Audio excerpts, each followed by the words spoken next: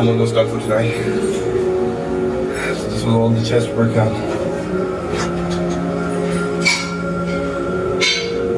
I took my t-shirts.